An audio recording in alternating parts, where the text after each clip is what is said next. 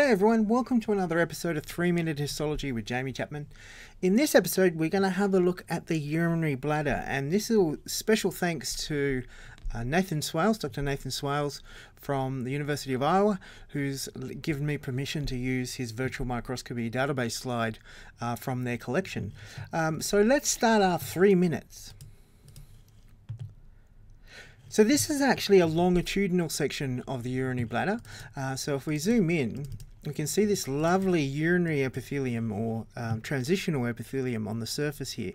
We've got these lovely domed cells, which are the umbrella cells on the surface. And um, if you watch the other video when I looked at the, the ureter, these uh, surface cells have within them um, sort of an accordion-like expansion ability uh, by having these intramembranous plaques which enable expansion of the cell membrane. As your your bladder fills up these uh, this epithelium stretches these flatten out and appear almost squamous. So this is actually quite a relaxed bladder because these um, umbrella cells are quite dome shaped uh, so this is the transitional epithelium. Um, again, it's got lots of tight junctions between the, the epithelial cells and to, to create this waterproof bag, basically, that is able to expand to accommodate uh, the urine. And then we have a lamina propria, and then we have uh, three layers of, of muscles. There's a blood vessel here. Uh, so if we move out, this is the dense irregular connective tissue. You can see big, thick collagen bundles here. There'll be lots of elastic fibers here too to enable that expansion.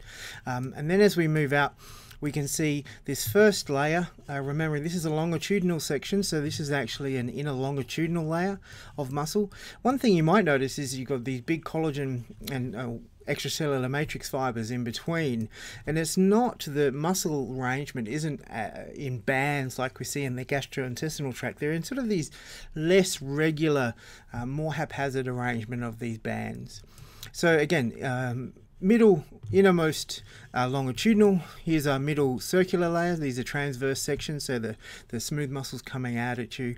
And then if we go out again we've got another outer longitudinal layer. So we've got these um, uh, three layers to our, our smooth muscle. So innermost longitudinal middle circular outer outermost longitudinal. So we've got these three bands.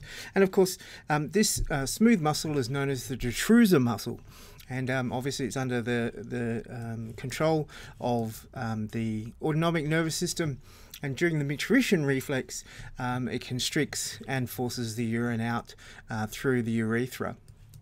Um, so those are the major features. If we can sort of go on the outside, we can see this lovely uh, serosa on the outside, a simple squamous uh, connective tissue, uh, epithelial lining with connective tissue, lots of uh, bundles of, of connective tissue fibers out here, some more smooth muscle on the outside there. So that's basically the overview of the, uh, the urinary bladder. Um, it's got those layers of mucosa, muscularis, and then a serosa. Those are the three bands that make it up. Anyway, I hope you found that useful. See you in the next video. Hooroo!